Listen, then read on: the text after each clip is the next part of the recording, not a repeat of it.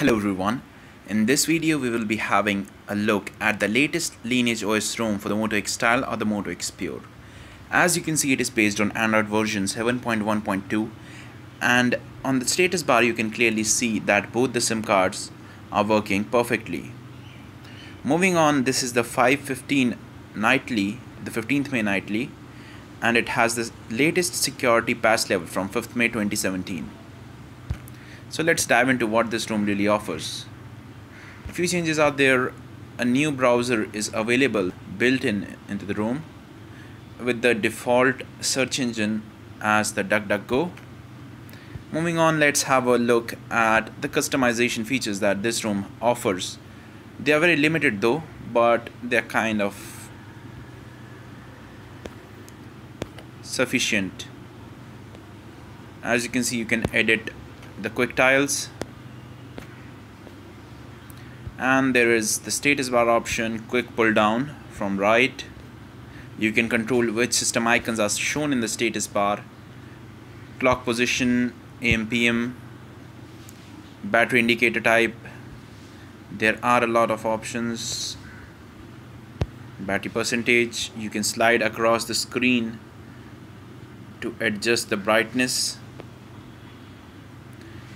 and whatnot. There's also a buttons customization feature. Oh also there are gestures. The gestures work perfectly.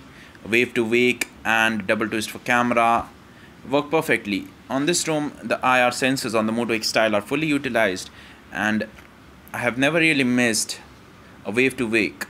So if you wave over the screen when it's on off the ambient display lights up pretty quickly Moving on to the buttons, there is a left-handed mode, show arrow keys while typing and whatnot. Buttons layout here you can edit and add new buttons, though I like just three. You can change what happens on say long press of the home button. I have set it to the search assistant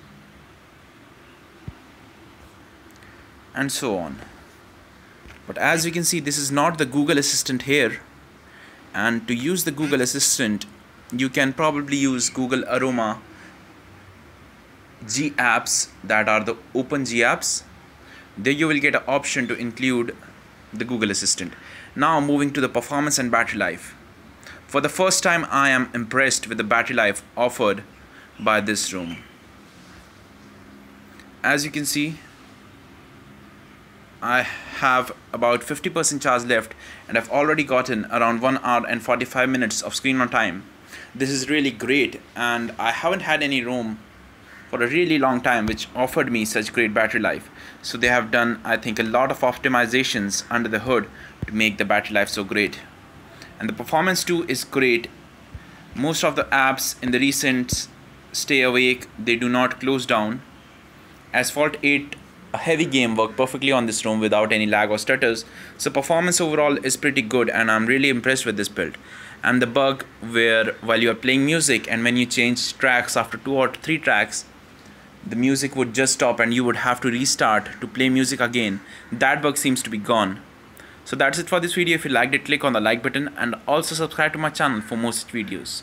And if you do want to watch other custom ROM videos on the Moto X style Check out the playlist that I have linked in the description below. Thank you and have a nice day.